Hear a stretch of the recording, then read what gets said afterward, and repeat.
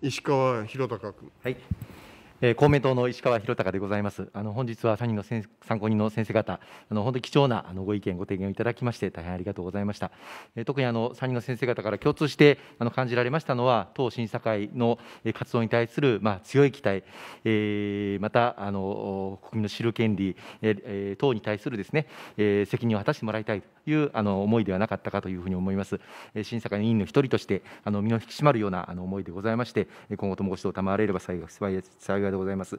まず最初にあの小林参考人にお伺いをしたいと思います。小林参考人からは、まあ、議会によるインタインテリジェンスコミュニティに対する民主的統制の機関というようなあのお話がございました。まあ、その政府と、まあ、党審査会の関係ということを考えたときに、まあ、サードパーティールールをどう考えるのかということを、しっかりあのさらにですね議論を深めていかなければいけないというふうにあの思っております。まあ、特にあの外国政府から得た情報について、えー、議会に提示するかどうかということに、えー、の判断の際に、まあ、サードパーティールールというものの評価をどう、えー、審査をして提示をするかしないかということを議論しなければいけないんですけれども、まあ、あのサードパーティールールというものが果たして固定的な概念なのかというと、私はそうではないようなあの気もしております。私自身ももともと外務省であの勤務をしていたものでございまして、何がそのサードパーティールールで何を守らなければいけないのかという明確な定義があるかというと、個人的にはそんなようなものがあのあまりないのではないかというふうに思います。小林参考には、あのアメリカの、えー、情報特別委員会、えー、が、まあ、当審査会と違ってというあのご,、えー、ご意見かもしれませんが、あのまあ、予算や人事権も承認権も握っているということから、まあ、政府への統制というのはより強いというような認識をお持ちかというふうに思うんですけれども、アメリカではそのサードパーティールールについてですね、どのように、えーまあ、議会側のえコントロールをあの及ぼす上で判断しているのか、例えば日本から入手をしたあの情報について、アメリカの、まあ、国務省なり国防省があの情報特別委員会に提示をする際に、えー、果たしてこれはサードパーティールールの情報だからといって、日本政府にわざわざ確認をして、えー、承認を取ってから提示をするようなあことがあるとお考えか、そのについてももし、えー、ご知見があれば教えていただければと思います小林参考人。はい、えー、ご質問ありがとうございます。あの当委員会の報告書等を見ても、このサードパーティールールについてさまざまなあのご議論がこれまでもなされているということで、まあ、ある意味あの、政府側とあの議会側の、まあ、リテラシーを高める上ではあの好ましいことかなというふうに感じております。で、その上でですね、あのサードパーティールールは、あの私の理解では、えー、先生が今ご指摘の通り、何かその法令上の根拠があるものではなくて、まあ、業務上の慣行であるというふうに理解をしております。それは、まあ、我が国のみならず、アメリカあるいはヨーロッパの国に行ってもその通りであります。で従いまして、じゃあどういうことかというと、あのまあ、インテリジェンス業務を、まあ、形作っている、その他のさまざまな、さまざまなその基本理念、まあ、例えばその政府とインテリジェンスの分離でああ政治とインテリジェンスの分離であるとかあるいはその秘密の保持であるとかそれから民主的統制さまざまな理念の中でですねあのその都度判断されるべきであろうというふうに考えております。あのこれはあくまでもそのまあ、学術解釈上の話として、えー、サードパーティールールというのは何かこう、えー、常にそれが優先されるものというよりはさまざまな他の理念との、利益考慮の中でその都度の対応が決まっていくものだと思います。で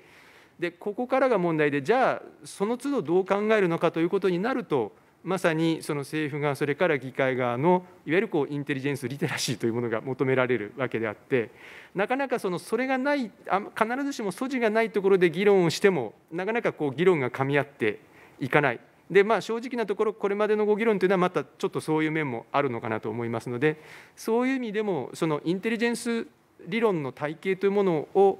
もうちょっと例えば、まあ、事務局等を通じてですね、あの蓄積していただけると、あの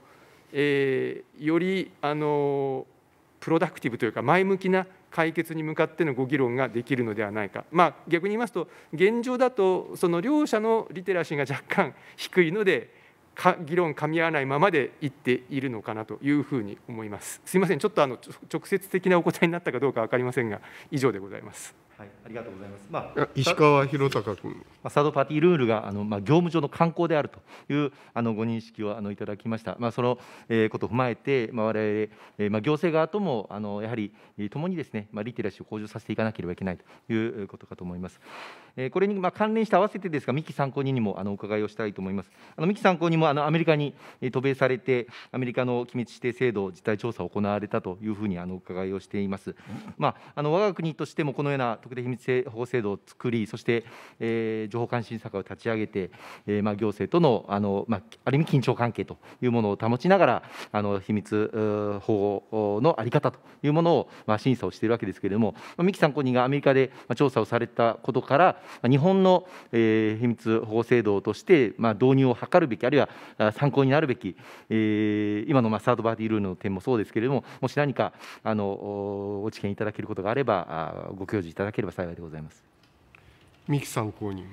ありがとうございます。あのなかなかまあ他国の制度というのはそれぞれの組織とかの文化に根ざしているので、そのまままあ持ってくるのは難しいのかなとは思ってはおります。ただあのえっといくつか違いがありまして、例えばアメリカの場合ですと大統領令に基づく機密指定をされているものを不開示にするというのが情報公開制度上の位置づけなんですね。なので機密指定解除されるとそのまんま基本的にはあの多くの場合公開ができるということになるんですが、日本の場合は特定秘密の要件の方が情報公開法が規定している不開示の要件よりも狭いというか厳しいので秘密指定解除したからといって公開にならないというですね、まあ、こういう構造になったりとかするんですね。えーですのでやはりその情報公開を進めるという時に特定秘密の解除が情報公開にはならないというですねこのあの一般の認識のこうずれがですね制度上実はあるというような仕組みになってございます。で、まあ、こういったものはですねあのなかなかすぐにこう政策的に解解決ができるということではないとは思うんですですが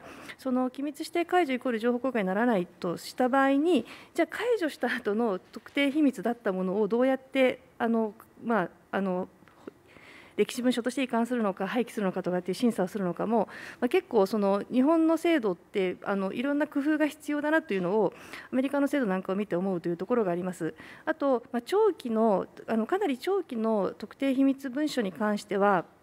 アメリカの仕組みですと、あの視察でも言ってらっしゃったとは思うんですけれども、あの機密指定解除の審査を開始するためのあの解除申請をするあの仕組みがあるんですね。機密指定解除をこれしてくだあのあの優先的に機密指定の解除の審査を始めてくださいという仕組みがありますけれども、あのまあ、その機密指定解除を例えば行政機関があの行えない場合もあの異議を申し立てる仕組みがあって、まあ、その中で、えーまあ、機密指定解除が一定程度進んでいるということもございます。あの長期の秘密指定文書に関してはそうした仕組みを設けることであのまあ、時間の経過とともに秘密性というのは低減するというのが一般的な考え方ですので、秘密指定解除を進めていくというようなこととか、まあ、秘密指定解除をこうシステム的に行っていくような仕組みというものを入れることによって、えーその外から私たちのような人間とか、あるいは報道機関もそうですけども、まあ、主体的にこう情報公開を広げていく、まあ、そういう仕組みを入れるというのは、あの大変参考になるのかなと思っております。ありがとうございました。時間ですので、お話しいただきます。えー猪口